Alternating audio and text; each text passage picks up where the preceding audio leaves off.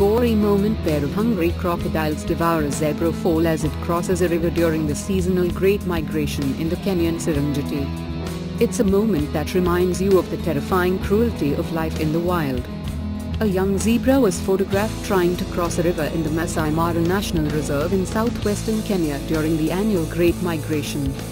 But this fledgling foal was instead set upon by two hungry crocodiles which had been stalking the pack of zebras under the water. The terrified foal tries its best to flee to safety but it is no match for the speed and strength of the two crocodiles, who latch onto the zebra and drag it beneath the surface. The shocking scene was captured by Ingo Gerlach, 64, who traveled to Africa to see the annual Great Migration of zebras and wildebeests. Every year, 2 million of the creatures travel an enormous circuit across the Serengeti plains as they travel from Tanzania to the Maasai Mara, following the new cross that spouts with rain.